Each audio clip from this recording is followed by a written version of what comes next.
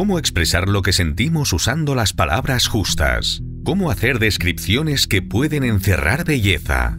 La palabra es el vehículo que expone nuestro yo interno a los demás. Hay que usarla con exactitud e incluso, en algunas ocasiones, hasta saber silenciarla es una maestría. Esa búsqueda de la palabra es la que nos hace seguir aprendiendo.